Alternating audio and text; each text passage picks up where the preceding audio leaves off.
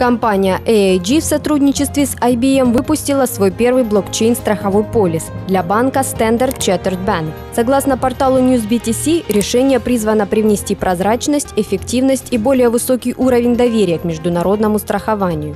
В частности, платформа позволяет в режиме реального времени отслеживать страховые случаи и данные по платежам, а также предоставлять автоматические уведомления по ним. Блокчейн-платформа разработана на основе технологии Hyperledger Fabric.